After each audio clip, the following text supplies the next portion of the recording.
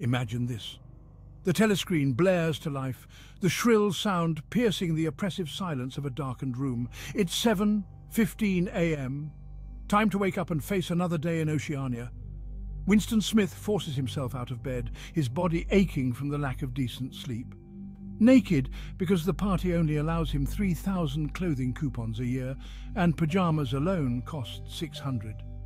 He grabs a dingy singlet and a pair of shorts, the only clothes he has, and prepares for the dreaded physical jerks. But first the coughing fit. It's violent and relentless, doubling him over and emptying his lungs. He gasps for air, his veins bulging with the effort, and that damn varicose ulcer itches like mad. Thirty to forty group. A piercing female voice commands from the telescreen. Take your places, please. Thirties to forties. With a jolt, Winston stands to attention. On the screen, a scrawny yet muscular woman appears, dressed in a tunic and gym shoes. Arms bending and stretching, she barks. One, two, three, four, one, two, three, four. Come on, comrades, put a bit of life into it. Winston goes through the motions, his mind drifting back to the dream he had before waking.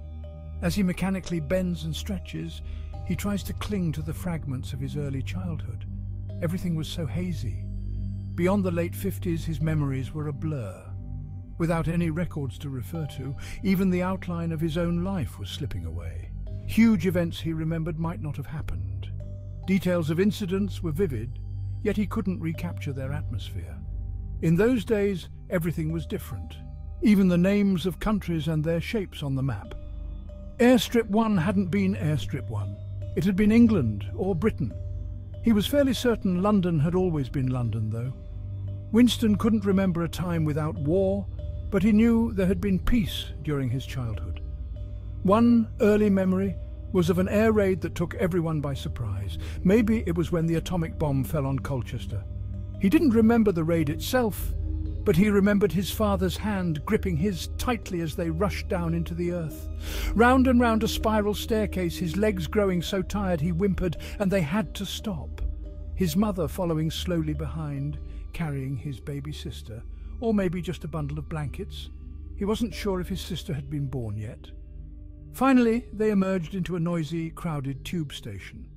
Winston's memories were fragmented and unreliable. In a world where the past is constantly rewritten, even recalling your own childhood becomes an act of rebellion. And so Winston stood there, stretching and bending, trying to hold on to the ghost of a time long gone. One, two, three, four, one, two, three, four. Welcome to another dystopian morning.